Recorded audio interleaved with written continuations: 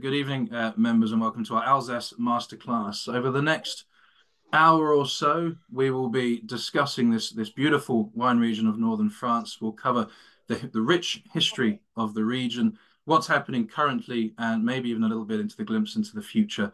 We'll look at the huge diversity of soils, of terroir, great varieties, and of course, then the wine styles that are produced. All of this through the lens of one of the region's most um, iconic, most important and celebrated uh, estates, Famille Hugel, of which Jean-Frédéric, you are 13th generation, am I right? Thank you. Yes, yes, yes absolutely. Part of it. I'm, uh, I'm, uh, I'm often describing myself as the tip of the iceberg. So I'm the one, uh, the face that is the most familiar to our customers around the world. Uh, but uh, but that that also includes my my cousin, my uncle, who's still active despite being retired. Retirement is a very abstract concept in the family, I guess. So, uh, so yes, 12 and 13th generation uh, in uh, in the commands of the of the of the house now. Yeah, brilliant. Now, before I pass the uh, the proverbial microphone across to you, Joe, to to sort of launch the event uh, proper. Uh, members, as usual, just a little bit of housekeeping from me. So, firstly, if you do encounter any technical difficulties, any connectivity issues, do please let me know. You can do that one of three ways. We can uh, email me tastings at thewinesociety.com or within Zoom, you can uh, click on the reactions tab, uh, raise your hand. I'll see that and I can direct message you and we'll find out what's what's wrong. Otherwise, you can message me directly via the chat function um, and you can let me know what's happening um, and I'll do my very best to resolve the issue. Talking of the chat, as usual, we'd love to hear where you're all joining us from. I can see one or two of you have already told us not just where you are, but also um, what you've got in your glass. And as we mentioned in the email, the tasting uh, the event tonight's not talking about specific wines, but uh, if you have anything in your glass, and we certainly have, or Joe and I certainly have something in our glasses here, we may well come to talk a little bit about some of Hugel's wines throughout the evening. Um, and if you have any questions for Jean-Frédéric or for Joe, please do pop them into the Q&A and I'll do my best to get to them. Uh, it might be, I suppose, at this point, Jean-Frédéric, just to explain where you are before we. yes, maybe a bit of context will be will be important. Uh, my apologies in advance. I uh, I was supposed to uh, be perfectly on time at uh, live from the winery, and then uh, and then a late arrival of the aircraft decided otherwise. So I'm from I'm live from my local airport. You couldn't make it better. Uh, local airport in uh, in Basel. So you'll get you'll be hearing some announcements. Uh, so in case you have any luggage, do not accept any belongings from anyone. Uh, in uh, French and in uh, in German and English. Excellent. That is the German version. But Joe, over to you. Okay, well, thank you, Jean-Frédéric. I can't see whether my camera is working. Not that I mind if it's not. Um, uh, you are? Yes. I, it's there. Okay, fine. That's fine. Right. So, uh, a huge thank you, everyone, for joining us. And a particular thank you to Jean-Frédéric for joining us from Basel Airport. Um, Jean-Frédéric has been uh, traveling quite a bit recently. Um, he was in the UK with us not very long ago, only a couple of weeks ago, um, and had a, bit of a nightmare journey home. He also spent his birthday with us in the UK as a result. Um, so he's had a bit of a time of it. So this is really above and beyond the call of duty, Jean-Frédéric. Thank you so much. And, You're uh, very welcome. It's a pleasure. Gil and I are lucky enough to have a glass of wine, which you don't. So, um, as well as I, hopefully a lot of members do too. So, we're toasting you. We're we're very much thinking of you.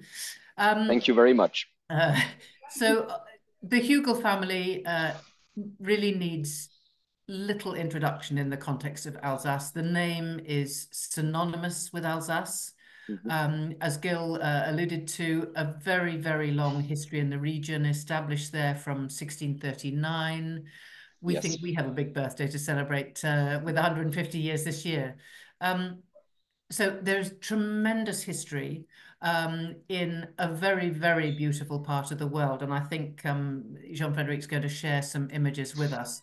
We found at our, our recent tasting in Bristol, where, where Jean-Frédéric joined us, that a lot of people had been to the region. So it, will be interesting to, to, to, hear from you whether you've actually been to Alsace before. Um, but certainly it seems to be one of those regions that once you go, you, you get the bug, you're hooked. Um, and it's no surprise really, given the, the, the spread of wines available. Wine Society has worked with with Hugel for many many years, not least with the Societies Vins d'Alsace, and I haven't been able to find out quite when we started.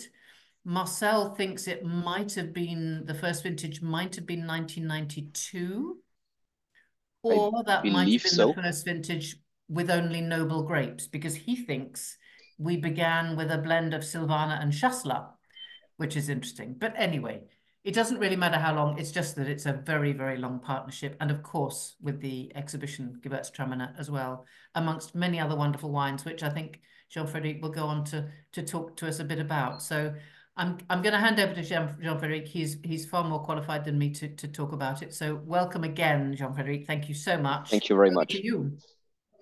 Um, well, uh, of course we have a we have a chat. I'm seeing uh, I'm seeing uh, you're you're following us for from uh, from all parts of the country. So uh, uh, do not hesitate to jump in at any point with questions. We're obviously going to to bounce on it and and try to answer as as as many as possible. Um, it's um, well, first of all, it's the first time I do a masterclass without a glass in my hand. So I hope I'll be as good without a glass in my hand as as with it. Um, but but the idea really is uh, is um, to give you a, a, first glimpse at at the region and what makes the wines of the of the region so so special.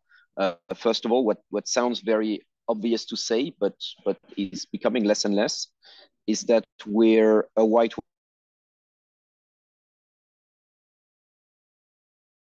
wine specialist region.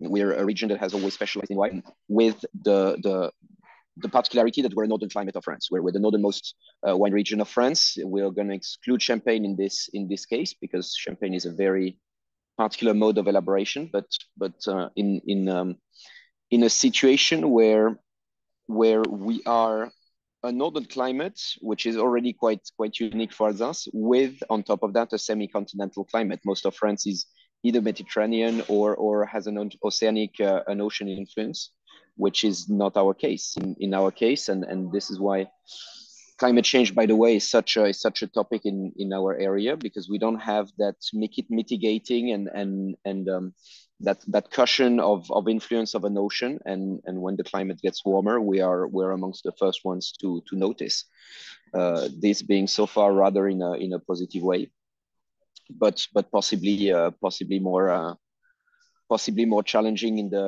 in the future. So I, I have prepared a, a few slides, very very few slides, um, but the first one is is um, is uh, going to be uh, probably Gil. You can you can you can put one on. Um, the the the first. Um, the first slide being uh, being uh, a little bit related to to history. Um, we Alsace is by no means a new wine region uh, it we're we're very like like very often like like most cases in in, in Europe we we are a region that that inherited the vine from from the Romans. There were already uh, wines produced before that from uh, from Silvestris grapes uh, some from Silvestris vines so wild vines basically.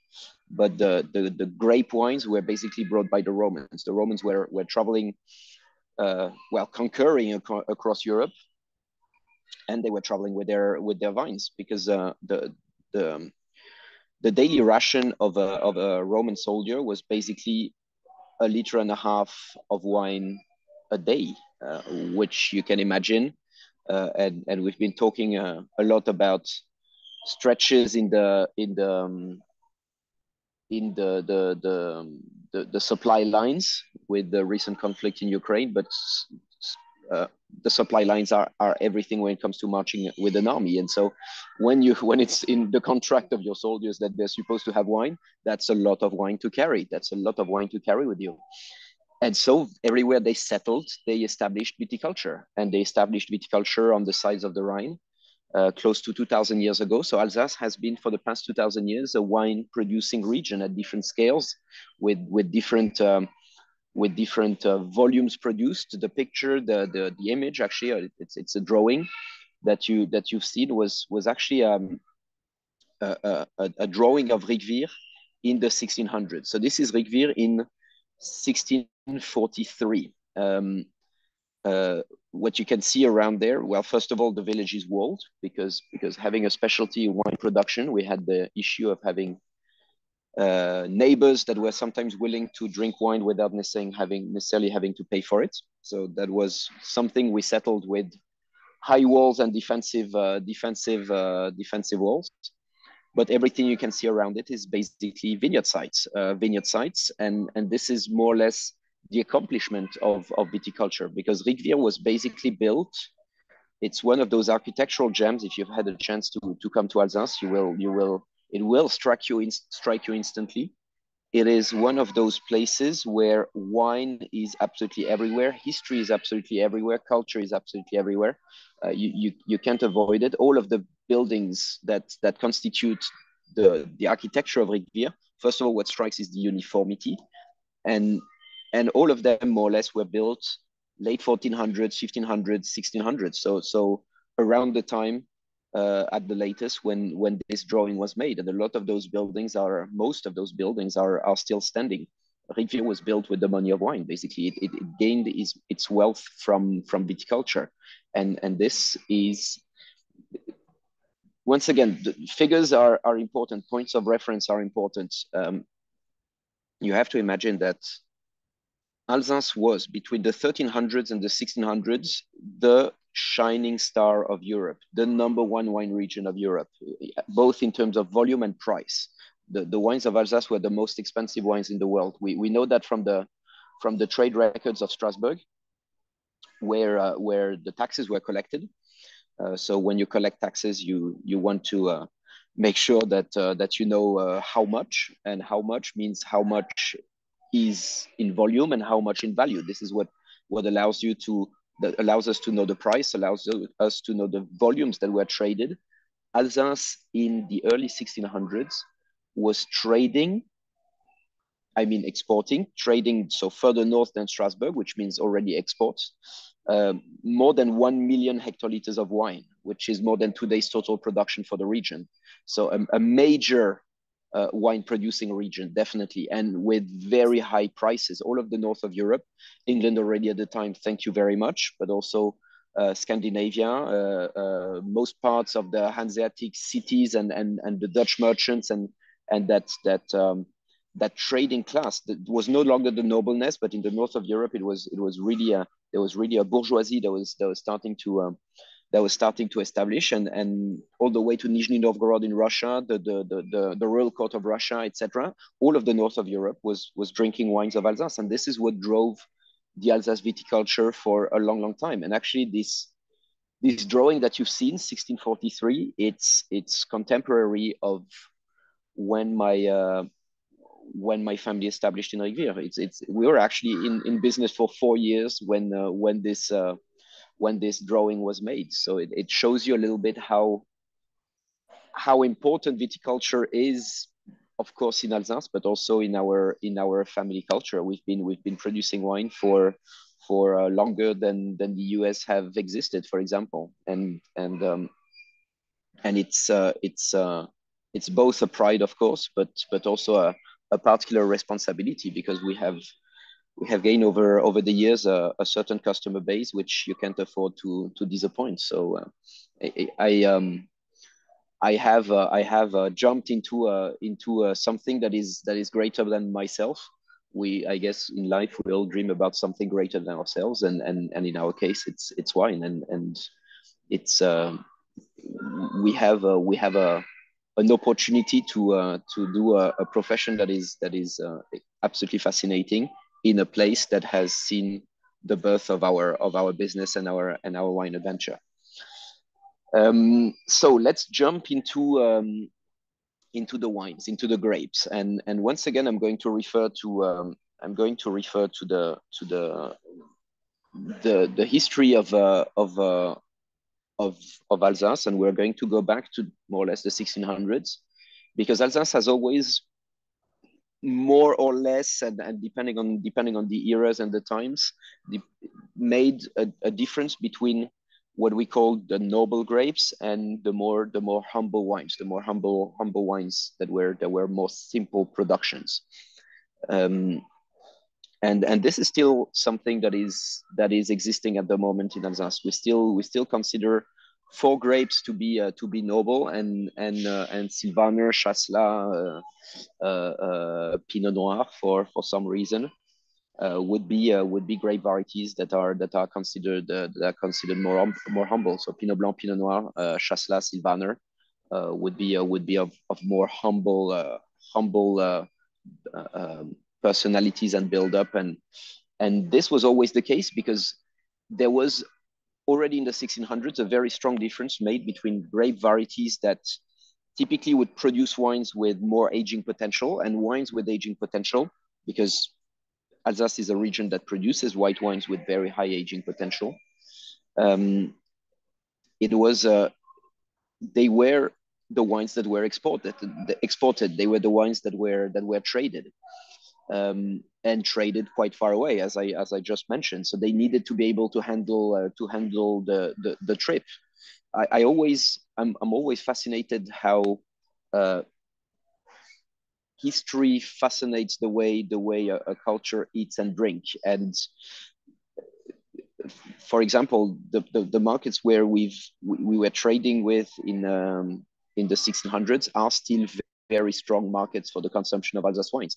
The highest consumption of Alsace wines per capita is actually not in France, but it's in Denmark, for example. So all of those Scandinavia has always been a very strong market of ours. So all of these northern countries have always more or less consumed consumed Alsace wines. And Jean so the, is there a sorry to interrupt, but is this, is there a um, is it documented what the style of the wines were? Would, would would the wines partly to help them travel? Would the wines have had a certain level of sweetness back then? Um, it's it's very hard to tell for sure. Okay. Most likely, yes. We actually have a, a pretty good testimony from it which is uh, which is actually the oldest wine in the world. The oldest wine in the world is an Alsace wine. It's it's kept in the Hospice de Strasbourg cellars.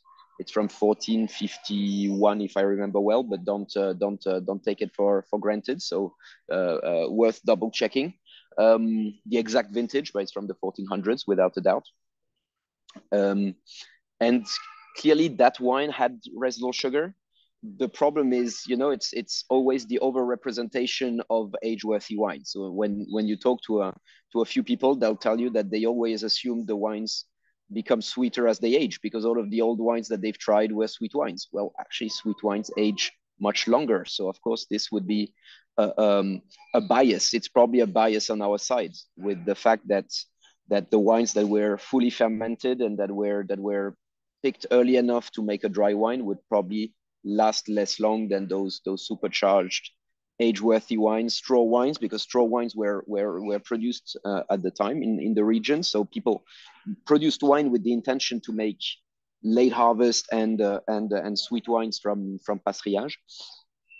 So we know that there were some sweet wines produced. We just do not quite know to what what extent, and and obviously chemically they they they wouldn't have been able to test the wines anyway. So um, that is extremely, extremely hard to know. Very, very hard to know. But we know which grapes were planted, which is which is quite interesting and gives us a little bit of a of an idea of of uh, of what the wines could be like. Let's say.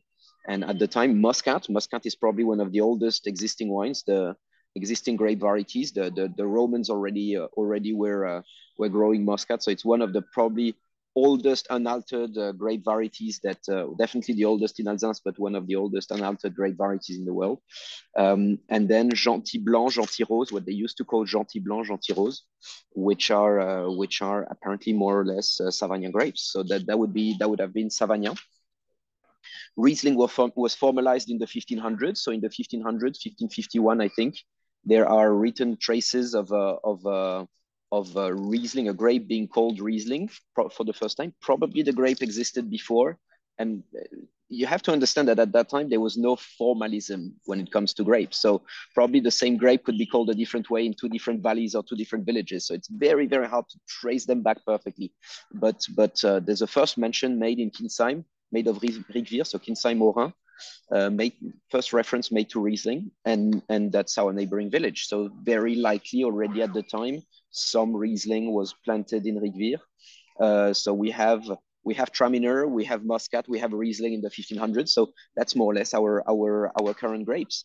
We're very lucky that they didn't didn't disappear. They they actually were on the on the on the verge of disappearing in the in the early 1900s, and they've been saved and they've been safeguarded by by some uh, forward-thinking growers that that thought that these high quality grape varieties would be the way uh, would be the way forward.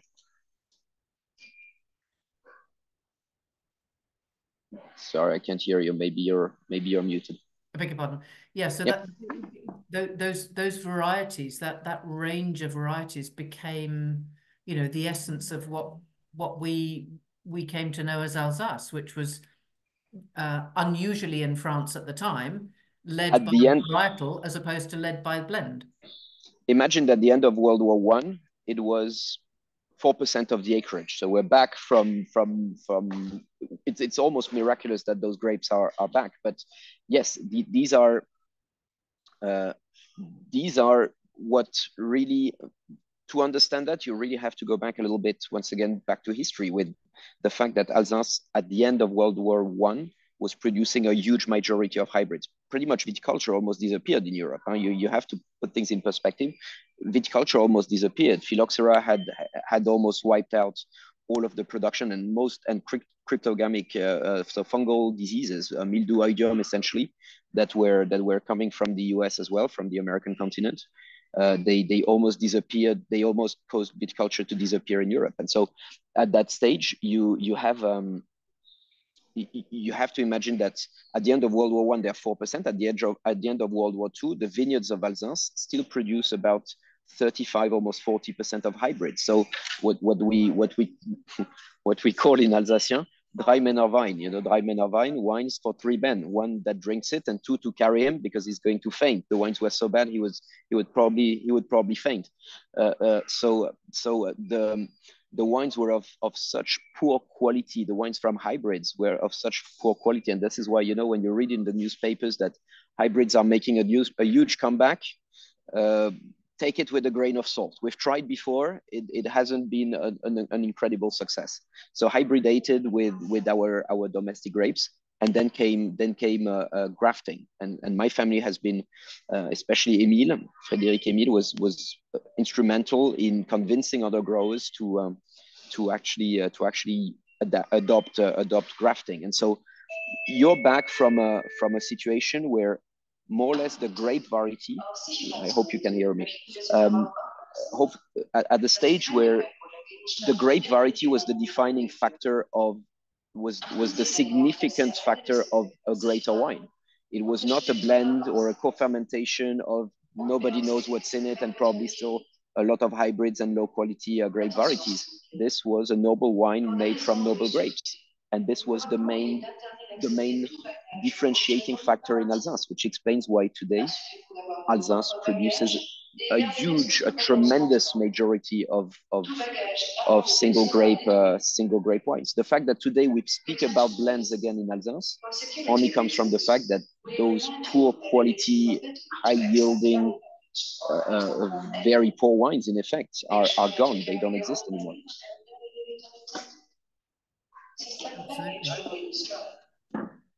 So we are back to um, to a situation after World War II where Alsace becomes one of those shining stars of the wine world, and and um, and the region is getting a lot of traction, a lot of success with grapes that that today uh, that today we are we are very proud to grow and that today sound sound like uh, like obvious uh, obvious choices for the produce of the of the region. So the four noble grapes.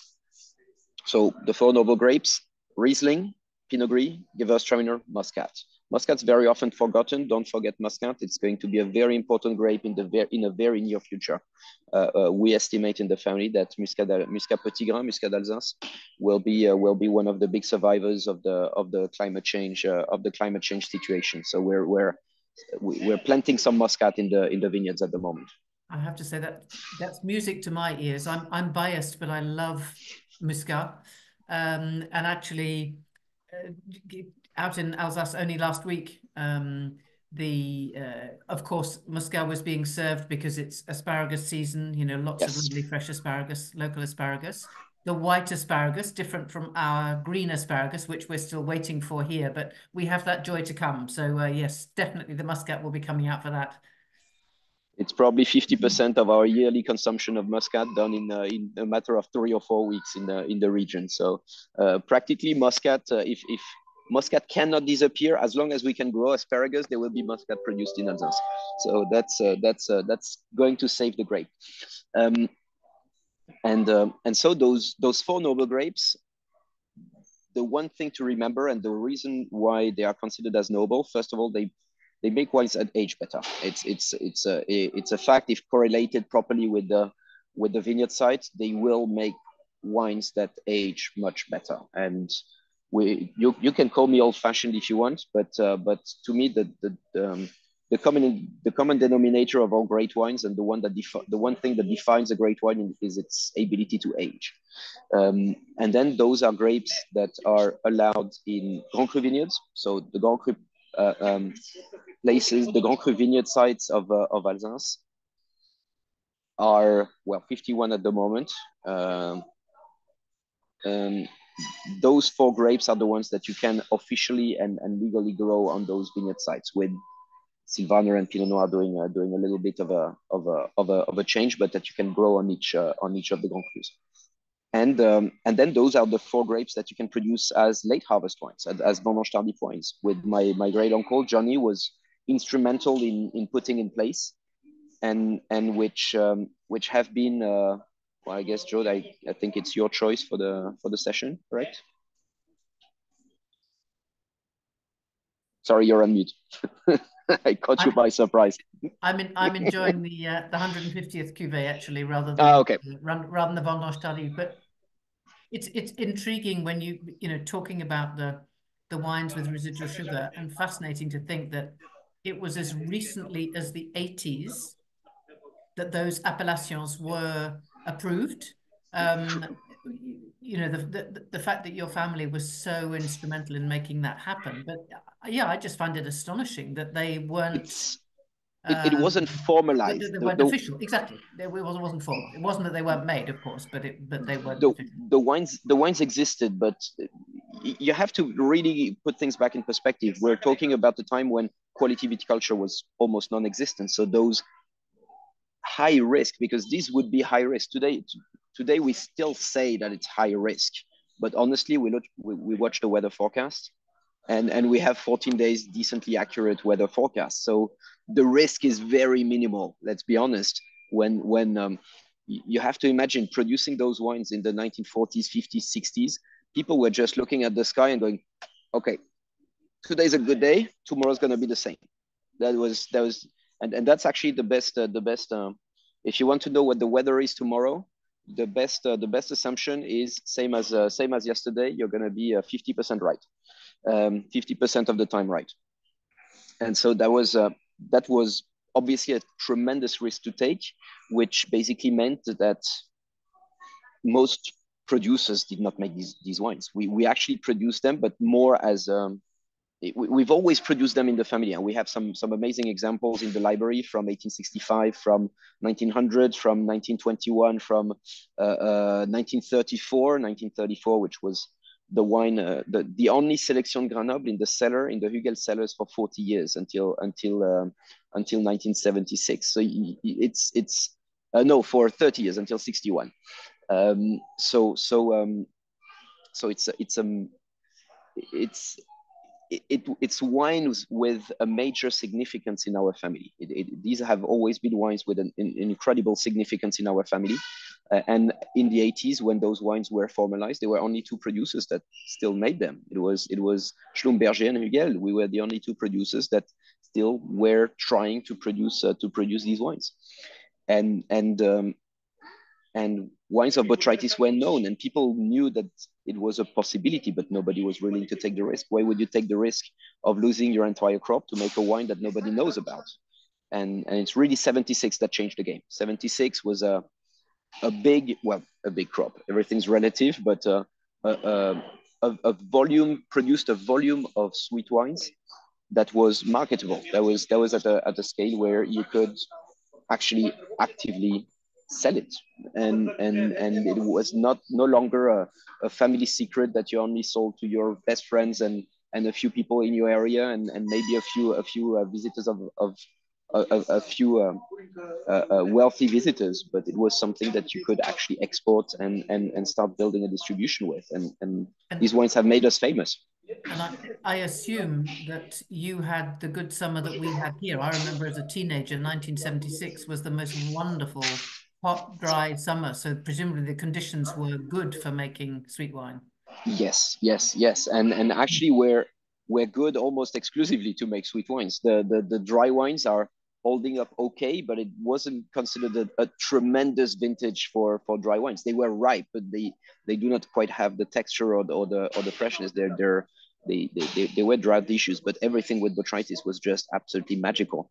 Uh, uh, it's it's it's a little bit of a of a of a legendary story in our in our family that um, when uh, when uh, when Johnny was uh, after after the whole day of work, when the grapes were in the press and the press was was was put in place was Johnny put on the press, and his father came next to him and said. Um,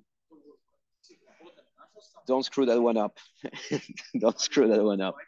Uh, Riesling SGN 76 is probably the most uh, the most legendary wine we've we've we've produced, uh, and and uh, and uh, and it, everybody knew what they had in their hands. You know, at that stage, it's it, it doesn't come as a surprise. You, you don't go to the cellar and taste it and oh wow, you know what the grapes look like. You know what the vintage looks like. It, it was an exceptional vintage. Everybody knew about it, and and I. I I envy their, their excitement when when they uh, when they they saw the vintage unfold. I really envy their excitement because there's nothing better than a great vintage. I can tell you that every good memory that I have from a harvest was in a great year. Uh, people are in a better mood and, and, and people have smiles on their face. They want to have a drink after the day at work and, and it's, it's a complete different atmosphere. Absolutely. And I mean, the, the um, I think Gil might have the Riesling uh, Vendange Tardive. Is that right, Gil? It is, yes. I'm just yeah. struggling to get my camera on. It might require you, Jo, just to give me that permission back, possibly. But yes. Oh. Um, okay, I don't know. I am. You won't. You won't be able to see me quite yet, but if it comes back on, I am holding the the bottle of uh, Riesling Vendange Tardive, yes, the 2013, mm-hmm. And thoroughly in the background here, thoroughly enjoying it as I'm listening to you both, um, both talking about the wines. It is utterly. It's tremendous. made. It's made for that sole and only purpose. Absolutely. so actually, um, it was when we when we were speaking in uh, when you were over in, in in Bristol, you touched on 2003, another yes. hot summer, um, striking vintage, a, a, dry year, and a very and a vintage that that you said marked a bit of a change that we we really started seeing the impact of, of climate change and changes in styles it was it was a click for us. So 76 was a first click. 76 was really the first click where you go, you went from making late harvest wines, high ripeness wines, big, opulent, powerful wines was the exception. And 76, you went, wow, we, we can really do it properly. So 76, I would say, is the beginning of climate change for us. It's it's it's the the it's the it's the it's the way up. It's the it's the it's the improvement curve. Um, and and to, to, to fully understand that, you have to keep in mind that the condition for a great vintage in Alsace has always been the ripest vintage of the decade will always be the best vintage of the decade. You take, if you want to know what the quality of an Alsace vintage was, you take all of your all of your um, all of your uh, uh, records since uh, since temperature is being recorded. You take all of the spikes, and the spikes are the great vintages. And and you see it clearly from the library. Every single hottest vintage is the best vintage of the decade. The the, the change was uh, with 2003. 2003, we found out that a vintage actually could be overripe, could be too hot, could be too dry. Uh, uh, there could be too much heat in Alsace, and and that was a, a game changer when 2003 arose. we we we were we were rubbing our hands. We were absolutely convinced this would be the vintage of the century. Marc Marc Marc told me again recently that he was convinced hundred percent that this would be the vintage of the century, and there was still no rain expected, still no no cold weather expected. So we waited, we waited, waited, waited until mid September, which was normal. You know, at the time, you waited until at least 15th, 20th of September. You would never call your pickers early September. You you always you, it never happened. There was no risk. There was no chance. And and we actually figured out that over overthinking that that vintage through, we we we found out that the vines were in shutdown because of heat, which which which never happened in Alsace. You, you never have 42 degrees in Alsace. Now it's it's something that we know can happen. And so the Pinot Noir was stunning. Pinot Noir, it was a Pinot Noir year. And this was also one of those elements that drove us to knowing and understanding that Pinot Noir was a grape for the future. Pinot Noir, it's it's it's it's it's of massive importance at the moment uh, and and we're actively buying land, planting, trying to find sourcings of Pinot Noir because because we are absolutely convinced that this is a grape for the future. And when I say for the future, for the next 20 years, because in 20 years' time we might there are already producers experimenting with Grenache and Syrah because because they're already uh, they're already thinking uh, away uh, another 20 years another 20 years forward. It takes 20 years to get the best the best grapes out, out of a vine. So yes that is the right time frame.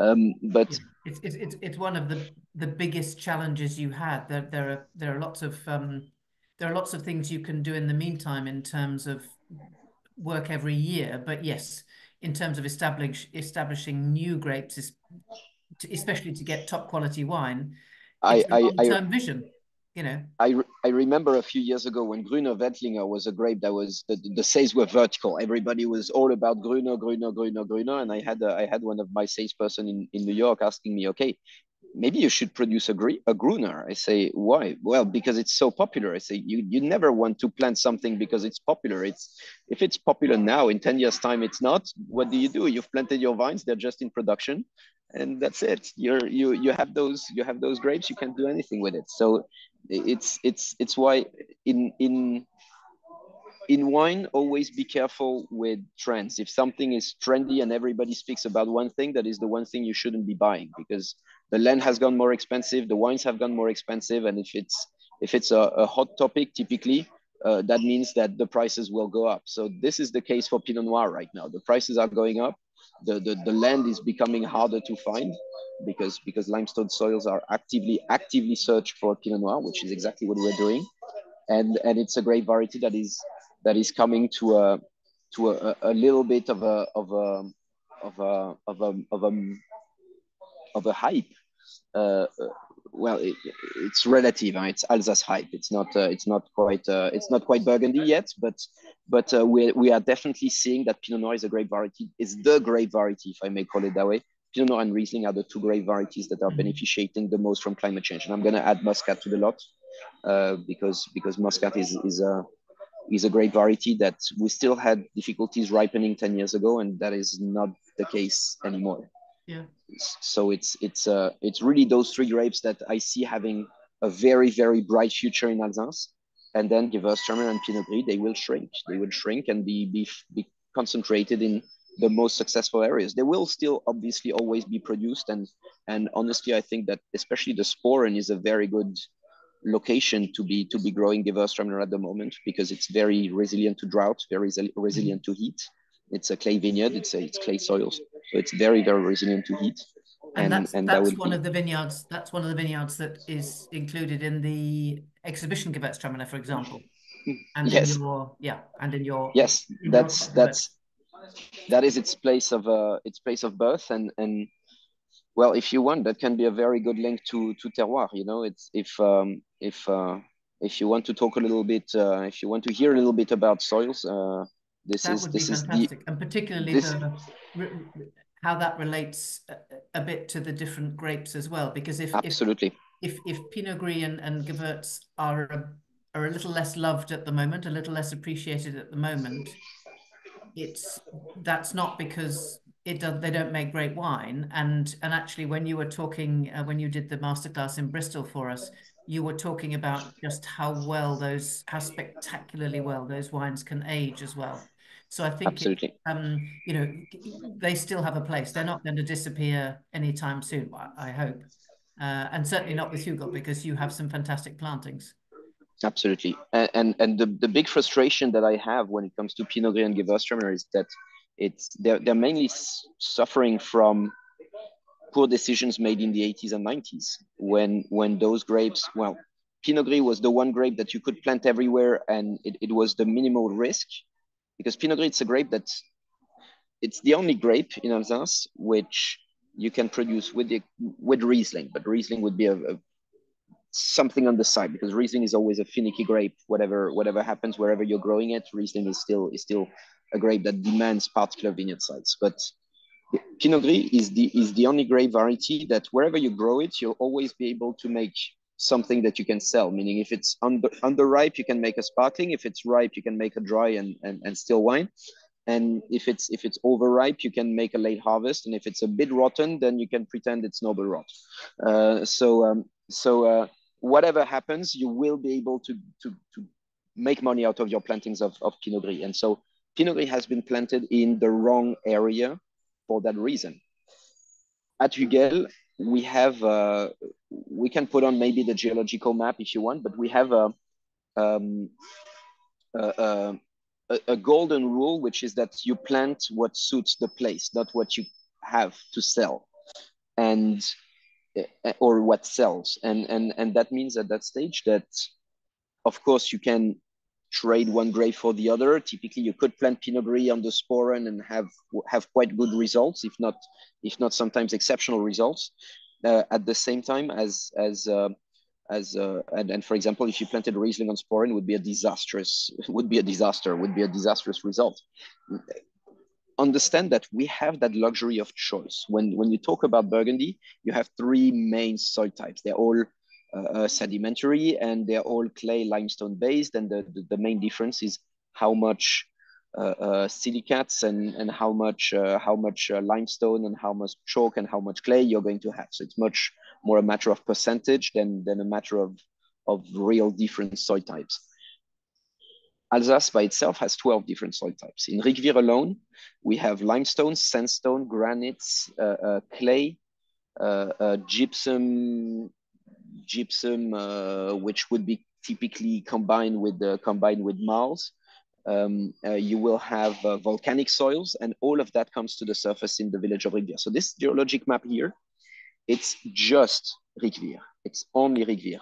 If you if you want to have fun, there's um, the French uh, the French government uh, has a has a um, a website that uh, that uh, has all of the different soil types uh, listed uh, the, the BRGM, BRGM, and and the whole geology of France is mapped. And you go across all of the geology of France, and then you zoom on Alsace, and suddenly you have that pocket that is that is a complete different a complete different structure and a complete different color, and that is Riquewihr. That is literally Riquewihr. Riquewihr has the most diverse geology in the world of wine, which which is absolutely unique.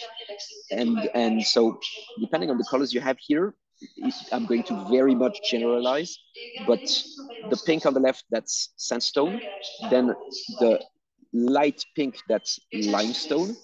Then you hit marls. So typically yellow, it's Triassic era. So that would be that would be uh, a marls. So the, the yellow part, which especially, especially covers Schoenenbourg, is marls with gypsum, which which make really the uniqueness of, of Grand Cru. And then everything that is blue, dark blue, and, and, and purple, that would be that would be Jurassic era. That would be clay. Everything that has that orange color, that is that is limestone. So uh, uh, calcaire, uh, calcaire à That's the that's the it's it's actually uh, it's actually Comblanchien. It's the the same uh, the same grapes, the same uh, the same um, uh, limestone as in uh, as in Burgundy and and um, and a good part of Chablis. So uh, uh, uh, you have a, a lot of diversity that obviously appeals for very different grape varieties. And the, the, the, fascinating aspect about it is without any notions of geology, people still thought that the griffé, the, the, name griffé, it means, it means a claw. Um, um, the, the, the, the, oysters that we find in the in the vineyards, the fossils of oysters we find in, in the vineyards. The, the, the, the, the older generations thought they were thought they were nails or claws from a from a demon. Uh, so so people had no idea about geology. Geology, the soil was a soil, but they had noticed that soils that looked a little bit different, that looked like like a particular a particular profile, were actually growing certain grapes better. And over 2,000 years of viticulture, people have adapted each grape variety to a different uh, to a different type of soil, and and it results in in seven grapes for the most common actually because it's more it's 13 grapes that we grow in Alsace. Uh, it's actually it's it actually results in 13 grapes being grown just for the ones allowed in the appellation. And then you start talking about uh, uh, Grenache, you start talking about uh, about Syrah. So we really have that opportunity. We have a, a climate that allows us viticulture to a, to a high extent. And we have a geology that allows a complexity of viticulture and and a, a, a perfect adaptation to for for each grape variety and for each soil. And and this turns Alsace into probably the most fascinating wine region in, in, in France, but at the same time, possibly also the most complex and sometimes intimidating. It, it's, it's a region that is very easy to, to, to get a first glimpse at uh, because we, we, we write the grape on the, on, the, on the label. It's, it's as simple as that. If, you, if you're if you know your grape varieties and it's only seven that you will find most commonly and then probably only three or four that that you will be drinking on a on a regular basis if you're not an Alsace fanatic Alsace is very easy to understand very easy to apprehend. You know that Gewürztraminers will have a certain aromatic profile that Rieslings will be a little bit more toned down high acid and well structured. So they they, they um Alsace is a very easy region to have a first approach of but as soon as you start, start scratching the surface Okay, so you have Grand Crus. Okay, 51 Grand Crus. Okay, so it's a level of quality. No, it's not only a level of quality. Depending on the soils, they're going to have very different ex expressions. Okay, so you should actually look into which vineyard site is better suited for which grape because it has a, a, a type of soil that tends to tends to show a little bit better combined with Riesling or, or Pinot Gris. And, and then within Grand Crus, there are already differences, and this has been um, a, a, big a big part of um, of uh, a, a, big a big and long on, ongoing topic in the family. The way the Grand Crus have been put in place do not guarantee you a uniformity of terroir, and for the for that reason, not a uniformity of quality. So, depending on which producer has has which vineyards in which area of the Grand Cru, you might have a very different expression expression of the of the Grand Cru site. So if you start going in depth, I would say Alsace is more complex than Burgundy. I I would agree with you, uh, but I but I like the fact that you say that actually to make the first step into Alsace is relatively easy because yes. you know the, the, the the wines are varietally labeled. If you start at the more modest price end, you're not going to get anything too challenging. Um, but then the more you you become interested, I mean, you know, if you're a geologist, then just seeing that map will get you excited. Um, exactly. But but certainly, once you start exploring the wines and seeing how the wines express themselves differently in different places and from different producers, um, then it, it's just a, a, complete treasure trove. So I mean, for, for the for the real enthusiast, there is just so much there to explore. It's it's it's wonderful. It does mean for, for big tastings, you know, a visit can can can make for very big tastings. We've done some very big tastings together, which is a, guilty, a, guilty, guilty. A, a, great great learning experience. Um, but yeah, it, you you touched on the the, the Grand Cru. Uh, and the fact that it's only in relatively recent years that that as a family, you've adopted the, the Grand Cru. So tell us a bit about Grossi Laüe and how that came about. Grossi Laüe is basically our own interpretation of uh, of Grand Cru, and uh, and it's more or less an evolution of the Jubilé. If you're if you're familiar, very familiar with our range, you've you've probably had a few bottles of of the Jubilé over the years. We went an extra bit further. It, has been it's been a long long time. Uh, um, you know, we've we've never adopted the Grand Cru system, or un, until that stage, we haven't adopted the Grand Cru system. Uh, we had not adopted the Grand Cru system because we were in disagreement with the quality standard and and the, the, the, precision of vineyard designation that was that was that was in place. So Jubilé was a way to to demonstrate against the Grand Cru system. Grossi Laüe was a way to we've adopted over the years two different approaches. The, the, the approach of the Jubilee was more, and, and the approach that the older generation, Johnny and, and, and the gener generation of my father had was they're doing the wrong thing. Uh, they're doing it wrong. They're doing Cru wrong. Um, our approach when when I joined when I joined when the family with the family I joined in 2013, we were already starting to discuss it and and and and it was the wines were more or less already already bottled and blended and bottled. The approach we had was if we we should do a step closer to the Grand Cru with the with the Grossi Laüe, but to the Grand Cru the way the Hugel see them, the way Johnny was was was willing to put them in place with the intention that this is how this should be done right. This is Grand Cru to the noble sense of the term. Um, I, I, always get very and, and I've been, I've been getting a lot of that over the past couple of days. I always get extremely frustrated when people tell me, "Oh, in Alsace is a fantastic region. You can get Grand Crus for a very cheap price."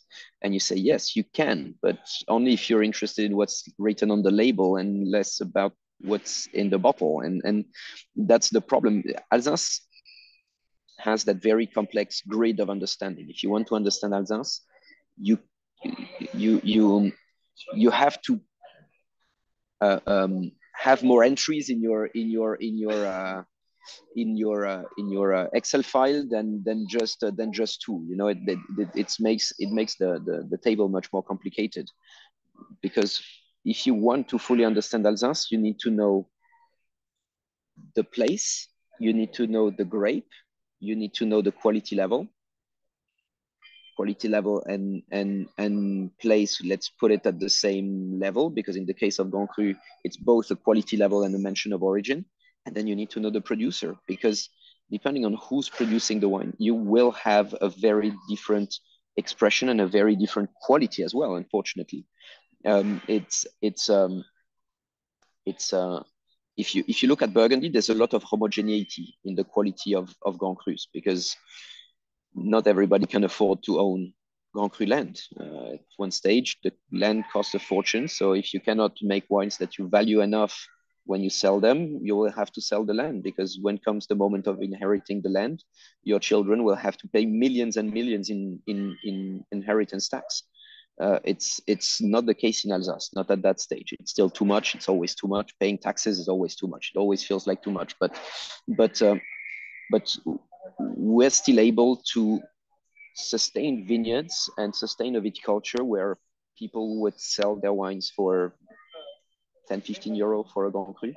The Burgundians would laugh at you if you tell them that they, they would think you've missed uh, you, you've misplaced the comma. Let's say you're you're a, a couple digits short. I think I mean you know that that is so true, but I but I think to give a little bit more context to to to the approach that your family has taken, it's it's been partly because some of the Grand Cru were quite a bit bigger than uh, Johnny Hugel envisaged at the beginning when he was so yes. involved in establishing uh, the appellation, the recognition for, for Grand Cru status.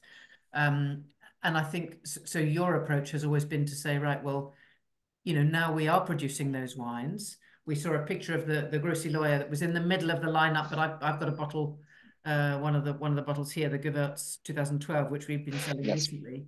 Um, so you know, you you moved initially to this name, and then I think it's from the 2015 vintage, mentioning the Grand Cru origins on the label. Um, with the intention with the that... principle that they were coming from a much more selective part of the of the Grand Cru vineyard. Yes, we, we, we basically take if, if you want to put up the, the, the map of the of the estate, we, we're we have the luxury of choice in the, in the family, and uh, it's true that if you own a tiny piece of land on a Grand Cru site, even though it might not be the best area, you still want to be producing that wine, and you still want to be producing it as Grand Cru, and and unfortunately, you might not get the best quality out of it. We have choice. We have a choice. We have we own uh, uh, 30 hectares of vineyards. Uh, we we own over six and a half hectares of Schoenenbourg, eight and a half hectares of Sporen, which are which are the two Grand Cru designated vineyards in in in Riquewihr. And so we can we can afford to just select, single out the very central part of Schoenenbourg, the the middle part of, of Grand Cru Sporen, and um, and actually in the Sporen, the lower part, so the part that is well, obviously quite a lot of Hugel, uh, is uh, is um, is the part that is that is the highest uh, the highest quality, and the Burgundians will will more or less always agree with the with the fact that the central section of a vineyard, the, the middle ground is is um, the middle the middle part of the slope is always the, the best part. If you if you look at the, the how a how a vineyard looks, the the the upper part of the slope uh, uh, which typically would be lighter soils, tend to be a little bit too poor in nutrients, too light in nutrients, too light, too light soils, because all of those nutrients have been eroded and, and by water and winds have fallen down slope. And the lower part of the slope collects all of those nutrients and tends to overcrop, uh, overproduce way too rich soils. And it's the middle section that is the best. And it's really with this intention that the Grossi Laüe was created with the idea of blending that central part of Grand Cru Schoenenbourg, especially when it comes to Riesling, which which is the the area that that has always, as long as we've been vinifying parcellaire and as long as we've been looking at grapes in the vineyards and, and checking on, on our viticulture, it's always been the best the best parts of the estate. And then the Pflostig, which is very underrated because not classified. Once again, you have some vineyards that are classified as Grand Cru that are probably not worthy of the status in Alsace, and you have vineyards that are not, which uh, which uh, well you can name the the, the Clos from from Olivier Humbrecht. You can you can name a few of those very high quality vineyards. The Pflostig is one of them, which which produces wines that that are not AOC wines. They're they're proper terroir wines, and uh, and this is actually where we produce our best uh, our best Pinot Noir. So this is a this is a place of strategic importance in in in the near future.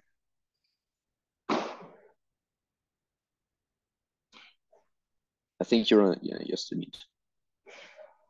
Thank you. I'm conscious that um, that time is moving on, so we probably should should move on a little bit. We've we've we've talked about some of the trends, the fact that you know the demand for Riesling is high. There's a bit less demand for Gewurz and Pinot Gris, but perhaps unfairly because they still produce some of the greatest wines that that Alsace produces and some of the longest lived. Agreed. Um, Pinot Noir very much on the up. Um, but interestingly, almost almost too much. Yeah, yeah, too much demand. Um, so yes, if you're a, a, a, tip, if you're enjoying Alsace Pinot Noir uh, and and find one that you particularly like, buy it now because the prices are probably going to be going up in the next few years.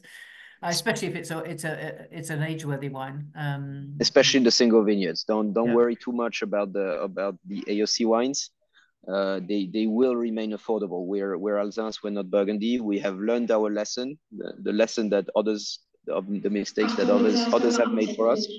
But but the single vineyard Pinot Noirs, yes, they're they they are they are on the rise. There's this demand that is increasing, and and and the prices are going up, which will come, of course, with with an improvement in viticulture. You know, when when when you have wines that that uh, that Im improve in quality, people see more more uh, more interest in buying, and when people buy at a at a better price, there's always an investment in the in the production and reduction of yields, etc., etc. Of course, yeah, absolutely.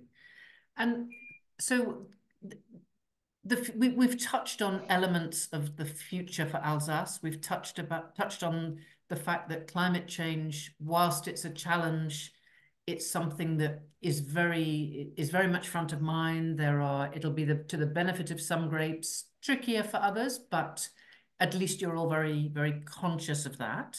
Mm -hmm. So uh, there's a there's there's there's still plenty of plenty of future uh, ahead for, for, for Alsace. We're not going to see those those wines disappear anytime soon. Um, I, I, I sincerely hope not. Then, in in all honesty, frost was never an issue for us. Frost was never an issue for us. Uh, with the milder springs that we've had, it's it's starting to be something that we're more and more concerned about. Uh, mm -hmm. uh, We we've had frost again a couple of a uh, couple of uh, nights ago. Um, we don't know exactly how much, but we've lost some crop already. So so it, it is an increasing concern, and and counterintuitively, intuitively, the, the the warmer the climate, the more frost will become will become a, a worry and a and a challenge. Alsace is always rather a late budding a late budding area because northern climate, but mm-hmm. but uh, late budding uh, in uh, the 21st century still means that by by the by mid March we're we're out. The buds are open. The, the vines are the vines are growing. I mean, certainly when when Fiona and I were with you and and and in Alsace only a week ago, it was it was very noticeable how advanced the vineyards were, and people were commenting you know that they'd been away for a week or so and and really seen a, a change in the vineyards there which is yeah i think it's it is a it is a concern um, let's hope that uh, you don't find that the damage has been too great. We certainly don't don't want that. We could do with a nice a nice quality and quantity of, of, of harvest 2024 that would be that would be good news. We'll take it. Would be good news. Absolutely. Um, and one very significant thing that we haven't touched on is that you have gradually been working towards organic uh, mm-hmm. viticulture. Some of your vineyards are already fully organic, um, and and seeing really seeing an improvement in in not only an improvement in quality but an improvement in consistency of quality, which I yes that is such a strong argument for for it. I, I would say that is probably the most massive edge, uh, both with climate change actually and and and organic viticulture. Uh, uh vintage uh, uh, uh, climate climate change definitely warmer warmer climate definitely makes the wines more consistent. So we're definitely seeing on especially the simpler wines that the quality has absolutely skyrocketed. Uh, and then and then when it comes to the top wines, it's really it's really organic viticulture without a doubt that has that has uh, that has massively improved the wines, um, both quality and consistency. We we've done the first attempts with organic viticulture in 2004. Um, 2007, the first vineyard was well unofficially, but what but was finishing its conversion. It was Schoelhammer, and um, and from there uh, we've seen the results of, a vineyard that was that was at the time uh, 15 years old was showing better than 60 70 years old vineyards so so that's it you, you, without without a doubt you're you're uh, you're you know where it comes from. That that is the only part that has that had that had changed in our in our viticulture so we very quickly implemented it to the rest of the Grand Cru sites. Uh, 2012 at that stage it was still it was still um, uh, not um, not uh, not claimed as organic. So it was it was practices and not uh, and not uh, a stamp of a stamp of approval. Uh, and so we're in official conversion because it's always you have to understand that in viticulture whatever happens it's always the the last five percent that are that that are the hardest part. It's uh, it's uh, it's it's always the last remaining four three four five hectares that were very old vines that were still planted. You, you still have some 80 years old, 90 years old vineyards that were planted at the time when when we were still plowing by horse or with an ox. So so uh, so uh, uh, before before we had a tractor, and it's those last vineyards that produce the best wines in the best part of the of the of the vineyards that that are um, that are actually the hardest to to to, to turn to organic viticulture. So it, it was. I think it's I think it's also because um, the, the, the older vines are more sensitive, so so you have to you have to have to tackle them with sensitivity. So yes. you don't want to risk shocking the vine. You have to move slowly, gradually, um, taking all of that into account. But it's but it's exciting to see and how that hopefully will help to sustain those older vines a bit longer too, which will also be a, a wonderful. What thing. we what we find especially interesting and and uh, and this is something that that has really struck us. In a great vintage the wines were always great but it's the it's the simpler vintages. The ones that were a little mm-hmm. bit more challenging a little bit less ripe there's still more juice more depth more density. And this we absolutely notice it without a doubt. The second most interesting aspect with with organic viticulture it's that in a in a warmer climate in a climate that is increasing in heat we have seen Gewürztraminer actually rise in acidity. And this is extremely interesting in our case. This this is a massive game changer for us. We've actually seen levels of acidity rise again, uh, especially on Gewürztraminer, which which uh, which which obviously makes it a it, it, it, changes everything. A grape variety that we thought was doomed is still continuing to increase in, in, in acidity, and, and, and that that changes everything.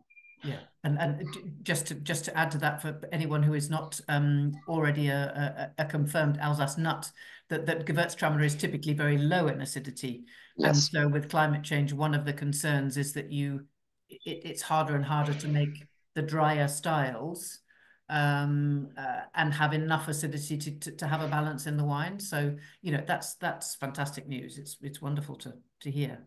I, I would say Are that there... at that stage at that stage, the, the, the biggest difficulty with climate change is less acidity levels than than alcohol alcohol sugar balance. Alcohol mm-hmm. sugar balance is really really was what has become more tricky, and and you can't at some stage you cannot harvest earlier. If you harvest too early, you're going to miss the phenolics. You're going to have underdeveloped aromatics, underdeveloped phenolics, and and that's that's not taking you uh, anywhere. It's it's making a dry wine to make a dry wine it's it's it's not in our DNA. We've always mm-hmm. prided ourselves with uh, with with making dry wines, but when at some stage you cannot produce a bone dry wine, you probably should not. And this is why Gewürztraminer has seen increasing levels of residual sugar. If you if you taste uh, uh, if you have a bottle of the society's uh, exhibition Gewürztraminer, it's it's it's it's risen five, six, eight grams of residual sugar in in in the past 10 or 15 years probably 15 years. But but it's because you can pick earlier until you cannot anymore. And you can ferment drier until you cannot anymore. We're not trying to make wines that are 15 and a half or 16% of alcohol. So so balance is everything of course. And and, and we try to make wines that keep that freshness and keep that structure and where in in in that case increasing levels of acidity are a great help. But more more important than everything we want depth and concentration. Yeah. And we haven't even touched on the food matching which you're so good at making those kind of recommendations. So we'll, we'll have to we'll have to organize a, a, another session at some stage in the, in the future so that we can we can get a bit more of that. Because i think some of the some of the the the, the styles that have a bit of sweetness which as we know calms down with time in bottle you know if you keep the wine for any length of time. But sometimes yes. that really that really complements a style of food as well. So absolutely. that's a whole it's a whole a whole extra extra subject. Um gil are there any is there anything that's come up as a question that we haven't that you think we haven't covered well, there are so there are there are three or four questions actually. There've been quite a few on one particular area or, or fairly. So I kind of paraphrase and put them all together. But the first question I have here that's come in um, on the chat is is just wondering your views, Jean-Frédéric, on um, as a varietal. Uh, not a variety that we've spoken about throughout or, or, sort of detailed in terms of this evening, and possibly for um, Alsace Masterclass Take Two, as as you say, there's lots more to cover. Uh, but yeah, just your uh, quick your views on the grape variety. That is an excellent question because typically Auxerrois, you see it very little in Alsace. It, it's there, it's very planted, but you see it very little because it's it's it's a great variety. It's one of those incredible uh, French extract exceptions. You know, we have exceptions in our language. Language. We also have them in our viticulture. Um, Auxerrois is actually a grape that you can legally call a Pinot Blanc. Uh, typically, most Pinot Blancs are, are a, a co-fermentation of of Pinot Blanc and Auxerrois. Most of the time, we don't even exactly know producers don't exactly know the percentage of Auxerrois in their in their Pinot Blanc. What we're definitely seeing though is that Auxerrois is one of those grapes that is doomed in Alsace. Without a doubt for me, it, it ticks all the boxes. It is high ripeness, so high sugar, high sugar content, low acidity, and high sugar content, low acidity in a grape that is replaceable. And by the way, replaceable with pure Pinot Blanc, proper proper Pinot Blanc. That that to me is a sign that uh, that this grape probably is uh, is living its last uh, its last days uh, its last days in Alsace. It's a great variety that used to be planted especially in, in, in the 80s and 70s and 60s in order to reinforce and restructure a little bit Pinot Blanc. Now it's something that is absolutely not needed anymore. Okay. okay. Um, the um, the sort of yes, the paraphrase question. I suppose I'll try and, and summarize the question a little bit, and I'm not quite sure it could have a huge answer to it. So this is a bit of a challenge in the sort of five minutes or so we have left on the on the session. But um, what would what would be your sort of describe if you're describing the key differences between uh, an Alsace dry Riesling, um, for example, against you know in comparison to other dry Rieslings from elsewhere, say German dry Riesling or or from elsewhere in in, in the, the wine producing world? What would be those key differences for you? I'm I'm going to tackle uh, Australia first, and and Austria, Aus Australia and Austria a little bit at the same time because the, the profile of wines are, are, are actually by far not similar, of course, but but but uh, to me to me have that that same that same common point that they're much warmer climate, if I may call them that way, uh, uh, wines, meaning that they they'll typically a little bit more be a little bit more terpenic you'll have a little bit more of that of that petrol character. Uh, you'll have uh, a little bit more of that of those heat driven or or or drought driven uh, uh, aromatics which which would be uh, which would be quite defining. I think austria is one of those places where you cannot dry farm anymore for example. Australia pretty much the same. So that would be um, the, the first thing that comes to mind for me when when describing those those two wine regions. So really, if you have a, a very a very petrolly by lack of a, of a better word and i actually love to to call to call a cat a cat you know uh, uh, as we say in french i don't know how good that translates in english but but there's, there's always that that very terpenic flinty minerality that that that very much expresses like like uh, gasoline tennis balls or or or uh, or uh, or um, or or a plasticky rubbery character, which I absolutely love in wine. And and and I'm not saying Alsace wines don't have it. Typically, Alsace wines will have will tend to have them a little bit less, and depending on the soil type as well. You'll find it a little bit more on granite. Typically, you'll find it a little bit more on high drainage uh, vineyards. But but typically those would be a little bit more driven by by hotter, warmer vintages or hotter climates, which which is typically in average more the case in, in Austria and Australia.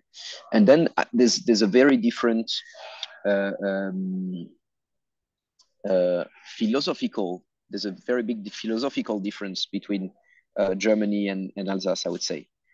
Uh, first of all, the Germans tend to drink wine outside of a meal more often. We're we're, we're foodies. You you know the French. We'll, we'll have wine at the table typically, uh, and and and German Rieslings tend to be more often seen as Riesling in Germany tends to be more often seen a, a little bit as an aromatic grape. Uh, which is not the case in Alsace. In Alsace, we do not consider Riesling as an aromatic grape. We consider it as a minerality structure driven wine that will be a food wine. If you ask to any Alsace producer, when you tell them about Riesling, how they like to drink Riesling, they'll always tell you a dish. By default, they'll always tell you a dish. The Germans have a, much more of that culture to, to actually drink more beer with food and, and wine wine as an aperitif. So and and and once again, going back to the fact that we don't see Riesling as an aromatic grape. We have Gewürztraminer. Gewürztraminer, everybody thinks it's a German grape. No, it's an Alsace grape, 100%. And, and Germany produces Germany as a whole, as a whole country, produces much less Gewürztraminer than Alsace.